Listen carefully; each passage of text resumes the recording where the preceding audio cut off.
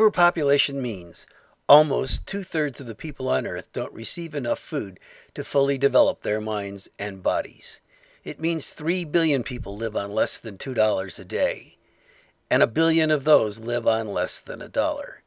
It means we are exhausting non renewables like oil, degrading renewables like soil, and overtaxing absorption capabilities like atmosphere. Overpopulation means less supporting resources. Means our markets channel the shrinking resources toward the rich and away from the poor. Overpopulation means if the cost of food rises relative to the value of labor, poorest billion people perish. If the cost of energy spiked and the cost of food tripled, 2 billion people would starve to death. Overpopulation means if starving trips a scarcity conflict civilization death spiral, more billions would perish. Overpopulation means we can understand our predicament if we visualize the Earth's supporting resources as a plate. Each person needs space on this plate to create his or her well being. Each has to push others away to use that space. The pushing propagates through the community until the person closest to the edge is pushed off and dies. It means in 10 years I expect the pushing to kill an extra billion. In 20 years, the pushing expanded by anarchy, migration confrontations, and resource wars could kill 3 billion more. Demographers tell us that during this same time period, the world's population will increase to 8 billion. Are they in denial about these 4 billion? Demographers aren't the only ones in denial. Most of us believe we don't kill anyone. However, I kill because how I travel to lunch and what I ate consumes the food that could feed this child. For me, overpopulation means I murder.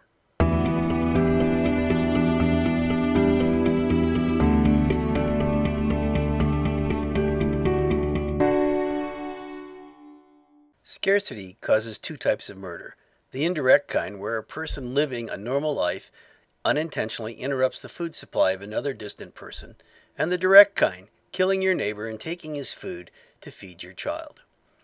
The only way to stop this killing is to decrease scarcity. The only way to adequately decrease scarcity is to decrease population. To stop the killing, we must implement rapid population decline.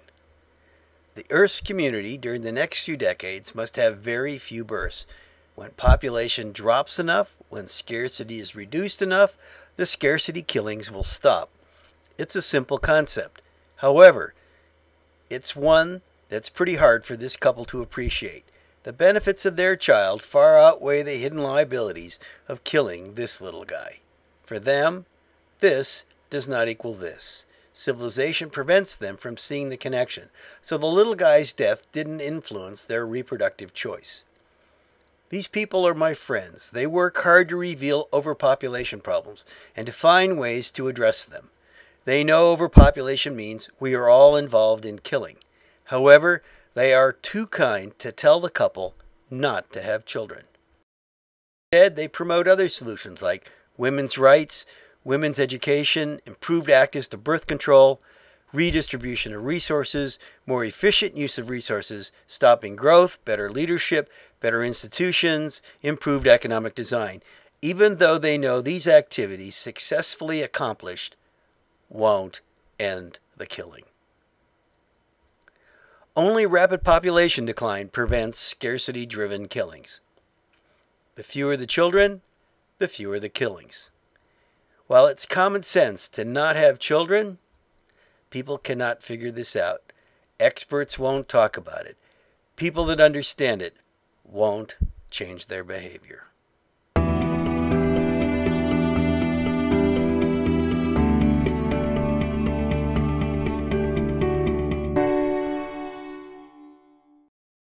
Starvation and conflict with rapid population decline is the second time in my life that I have experienced a schism between knowledge of a good behavior and getting people to take it. I'll tell you about the first time and what we did to overcome it. In 1968, when seatbelts were introduced, they worked so well, wearing them was the intelligent choice. However, it was decades before seatbelt wearing became common. Why? People believed good drivers did not have accidents, and they believed that if they were in an accident, they would not be injured. In competition with these fantasies, wearing a seatbelt was worthless. To get people to wear seatbelts, society shamed and then coerce them to wear seatbelts with laws.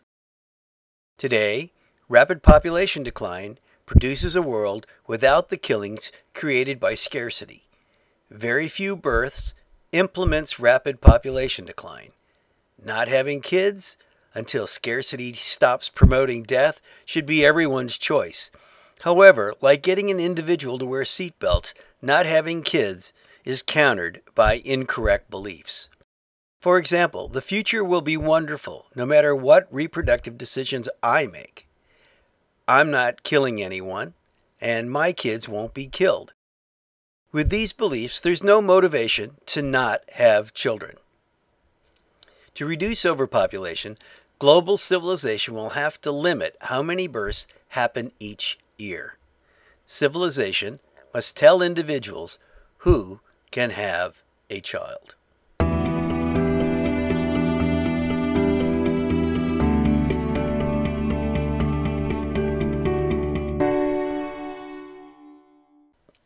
Can civilization tell individuals who can have a child? Civilization told individuals they could not have slaves. Civilization told husbands and institutions that they could not subjugate women. Civilization told smokers they could not smoke on airplanes. Civilization told drivers they could not speed in school zones. In all these situations, a benefit justified a law that limited personal behavior. In the case of overpopulation, to stop these killings, civilization can pass laws or civilization can create social pressure that determines who can have a child. There are two processes by which societies can take control of a citizen's behavior. First, creating a new social consensus can get people to accept such directives independent of what culture or government is in place. And second, through the ballot box, which only works in a democracy. For example, if a majority of the people believe slavery is wrong, they can say, You cannot have slaves. In the case of overpopulation, if a majority can say, Overpopulation kills, then society can dictate, or a democracy can have a law that says, have a child by permission only. Our task is to create a majority that believes overpopulation means we're killing one another. Our task is to create people who believe we need rapid population decline to stop the killings. This task conflates to how do we get this individual to replace his fantasy, this course of action is wonderful, with the reality, this course of action kills children? How do we get him to believe that killings are increasing? That today, while scarcity kills only the poorest of the poor, tomorrow, increased scarcity will kill his child.